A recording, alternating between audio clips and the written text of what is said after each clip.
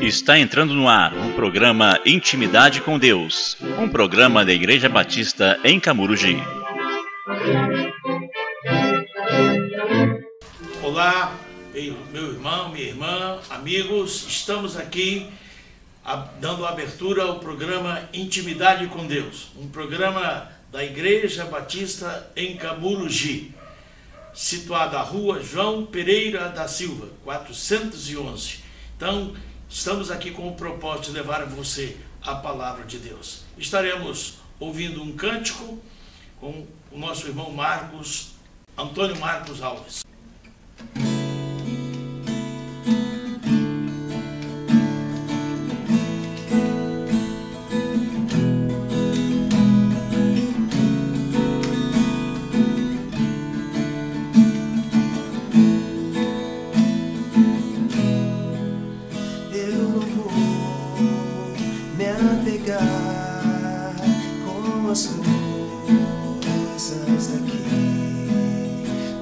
eu sei há um lugar que me espera.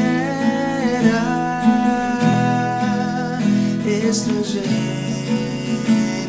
eu sou, o meu lar é o céu, meu Jesus. Vem buscar a sua noiva.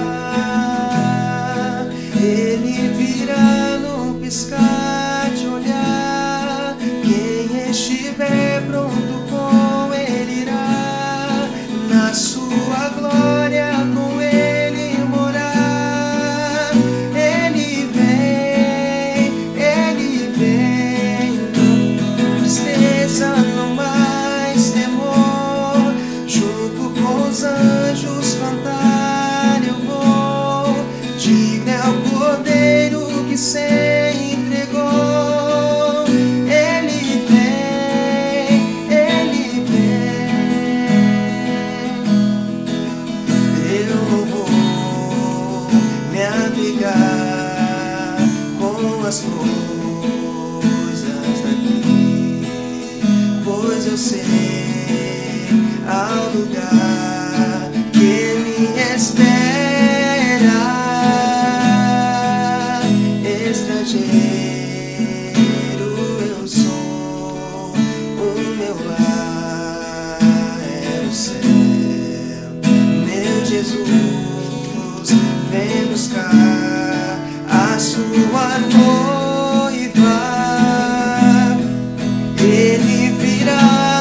arriscar.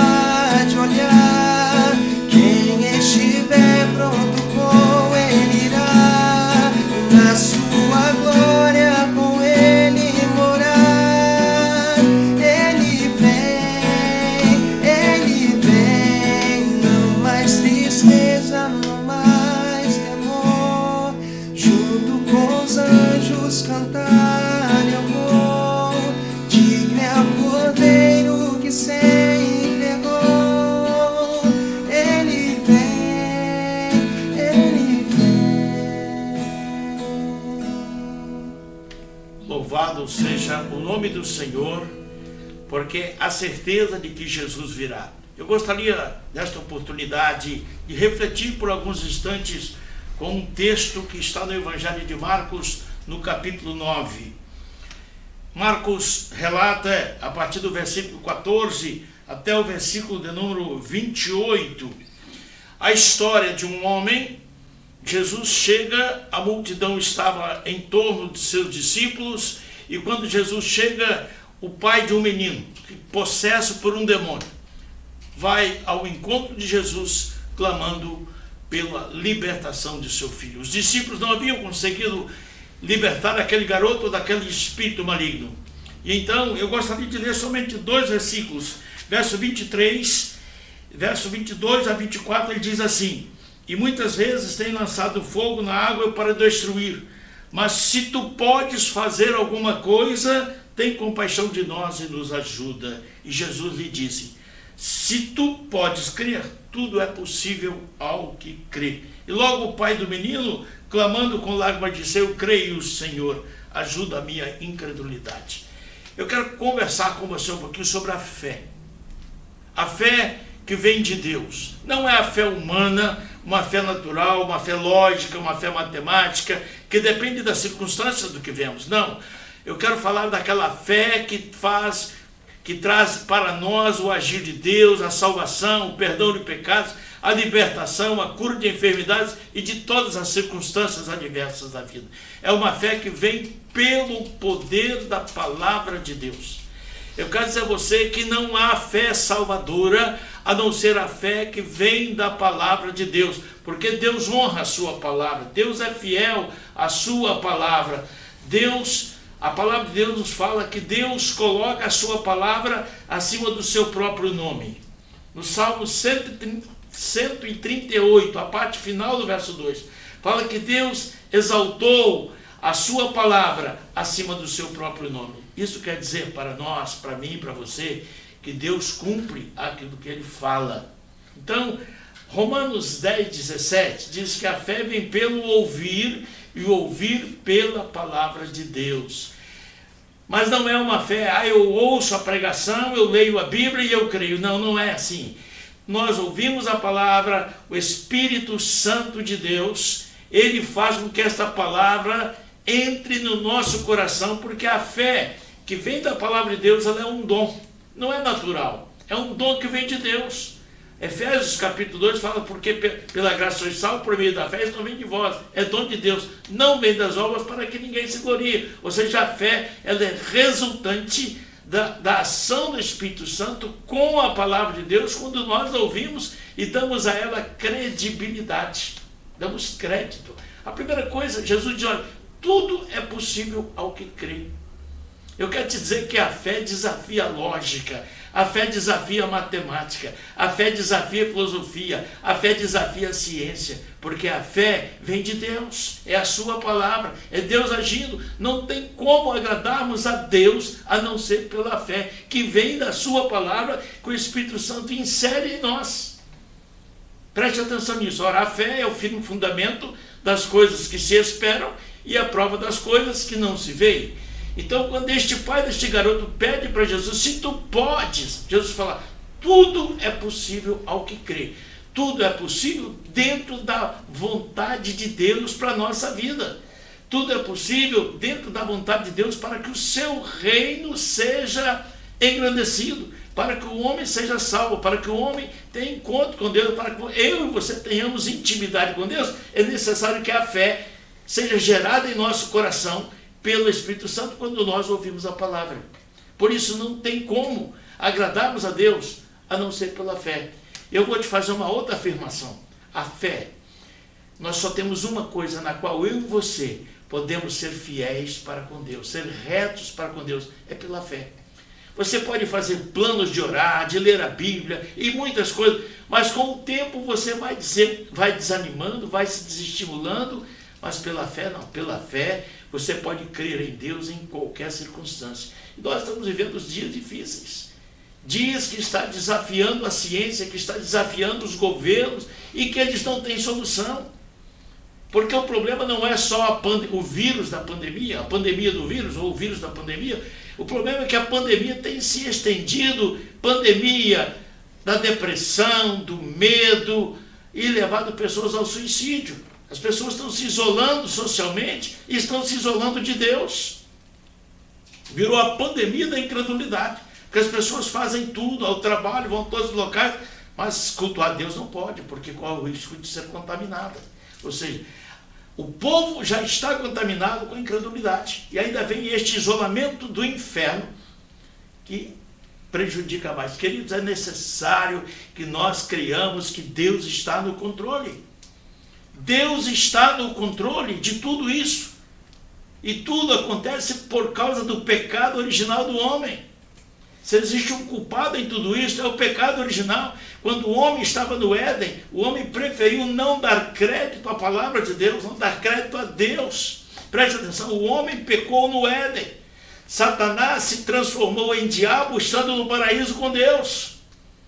Não é o local que gera santidade, mas é Deus, aquele que está no paraíso, aquele que controla o Éden. É nele que nós temos que crer e na sua palavra. E ele nos deu a sua palavra. A palavra de Deus não é um livro comum. Quando você medita na palavra de Deus, o autor, que é o Espírito Santo, está com você. Ele está lendo com você, está te ajudando a entendê-la, a interpretá-la. Essa é a mensagem que nós levamos aqui. Essa intimidade com Deus é através da fé que vem da palavra de Deus, que nos apresenta que Jesus Cristo assumindo o meu lugar e o seu lugar na cruz, e morrendo e ressuscitando para a nossa salvação. Então Jesus diz para Senhor: tudo é possível ao que crê. Ele faz, Jesus, eu creio, ajuda-me na minha incredulidade. Então, que nesta oportunidade possamos pedir ao Senhor que a nossa fé seja voltada para o Senhor, para a Sua palavra, incondicionalmente, independente das circunstâncias adversas, independente de tudo aquilo que está acontecendo, que possamos vislumbrar que há um lugar preparado, conforme o cântico do nosso irmão, há um lugar preparado, nós não somos daqui, é o céu, mas que do céu o reino de Deus começa é aqui. Ele começa aqui e se estenderá por toda a eternidade nos céus. Mas para isso, nós não podemos olhar as circunstâncias. Se você olhar para dentro das igrejas, das congregações, porque a igreja de Cristo é uma só, é o seu corpo, ela não tem nome, o nome é Jesus Cristo, a igreja ele é o cabeça, mas se você olhar para as congregações, você vai ter problemas. Nós vamos decepcionar e vamos ser decepcionados. Isso vai acontecer com todos nós. Mas por isso que nós temos que olhar para Jesus, pela fé. Ver o invisível. Ver aquilo que não se vê. E a Bíblia fala que sem fé é impossível agradar, agradar a Deus. Porque é necessário que aquele que se aproxima de Deus creia que Ele existe e que é o galardoador daqueles que o buscam. Você imagina, um mundo criado pela palavra. Deus criou o mundo do nada. Deus trouxe a existência pela sua palavra, todas as coisas. Deus trouxe todas as coisas à existência pela sua palavra. E ele é fiel, ele cumpre aquilo que promete. Então, nesta oportunidade, entregue a sua vida a Jesus. Está difícil? Eu sei que está. Dizermos que as coisas não estão acontecendo, seríamos tolice e ignorância da nossa parte. Estão acontecendo. Mas cremos na palavra de Deus. Deus está no controle. Isso vai passar. Isso vai acabar. Deus tem uma palavra de vitória para a minha vida e para a sua vida. E essa palavra de vitória de Deus se chama Cristo Jesus. E a Bíblia fala em João capítulo 1, verso 12. Mas a todos quantos receberam, aos que creem no seu nome, deu-lhes o poder de se tornarem filhos de Deus. Este menino, Jesus o libertou. Ele foi liberto após o pedido do seu pai. Sabe por quê? Porque nada resiste o poder da palavra. E ali estava o Filho do Deus vivo, o Filho unigênito, em carne, que assumiu a forma humana para ser o nosso Salvador. O Criador estava ali. Bastou uma palavra sua para aquele demônio libertasse aquele garoto. Quantas pessoas hoje estão presas Talvez não com possessões, mas presas, moral, espiritual, sem saber o que fazer. Então que Deus abençoe você. Deixe o Espírito Santo tornar esta palavra viva no seu coração. Entregue a sua vida a Jesus. Entre em contato conosco. Entre em contato. Igreja Batista em Cabarugi. Ali nós estamos transmitindo os cultos online pelo Facebook, às quintas-feiras, às 18h30, domingo às 9 horas da manhã e domingo às 18 horas e 30 minutos. Procure no seu Facebook Batista Cabarugi e receba a palavra de Deus. Interaja conosco. Mas eu quero que você, nesta hora, nesta oportunidade, interaja com Deus através de Jesus Cristo. Dizendo, Deus, eu preciso. Ajuda-me na minha incredulidade. Porque a religião nada pode fazer nem por mim nem por você. Mas Deus pode, através de Jesus. Se nós crermos que a sua palavra, ela é imutável, ela é inerrante, ela é infalível. Este é o Deus da Bíblia. Este é o nosso Deus que nós anunciamos. Que Deus o abençoe. Estaremos ouvindo mais um cântico antes de orarmos, encerrando este, esta programação.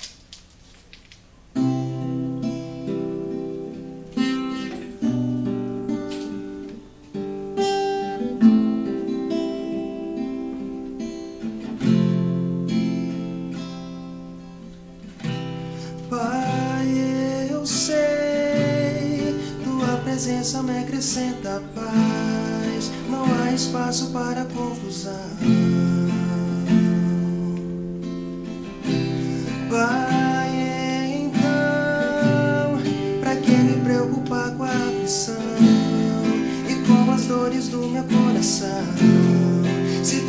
Presença só traz alegria, tua alegria é a minha força. Tua alegria é a minha força. Tua alegria é a minha força. Se tua presença só traz alegria,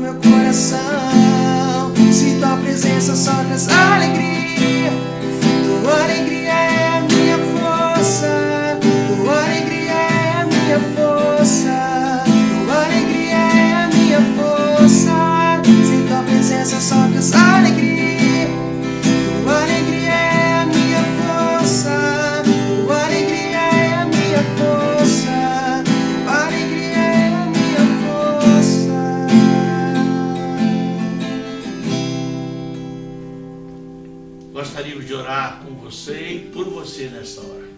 Que onde você está, curve a sua cabeça, feche os teus olhos. Vamos falar com o Pai. Vamos pedir que Ele coloque a fé em nosso coração. A fé salvadora. Aquela fé que faz os milagres acontecerem. Porque fé uma atitude. Fé não é simplesmente reconhecer. Mas fé é mais do que reconhecer. É experimentar. Cure sua cabeça, feche seus olhos. Pai querido, Pai amado, no glorioso nome de Cristo Jesus, suplicamos-te que o Senhor tenha misericórdia de nós e que o Espírito do Senhor esteja, o Espírito Santo do Senhor, esteja falando a cada coração através da tua palavra. Não a palavra humana, a palavra do homem, mas a palavra do Senhor que é viva e eficaz, que penetra até a divisão da alma e do espírito e é apta para discernir os pensamentos e as intenções do coração. Por isso, Senhor, leva agora esta pessoa que está orando a Ti, entregando a Ti o seu coração, entregando a Ti as circunstâncias da sua vida. Senhor, opera o milagre que ela espera, mas opera para a glória do nome do Senhor. Opera para que esta pessoa entenda que Cristo Jesus é o Senhor, Ele é o Rei, Ele é o Salvador. Pai, muito obrigado por esta oportunidade de podermos dizer que em Jesus Cristo, em Jesus, há salvação, que em Jesus a cura, que em Jesus a libertação, que em Jesus a solução no tempo e na eternidade, e que para Ele não há causa impossível. Por isso, Ele bradou na cruz, está consumado. Obrigado porque a obra do Senhor para que possamos ter intimidade com o Senhor, para termos o nosso nome escrito no livro da vida, já foi consumada. Então, Espírito Santo, opera nesta oportunidade. Oramos em nome de Jesus. Eu quero encerrar dizendo assim: que o Senhor te abençoe e te guarde, que o Senhor faça resplandecer o seu rosto sobre ti e tenha misericórdia de ti, que o Senhor sobre ti levante o seu rosto e te dê a paz. Até a próxima oportunidade.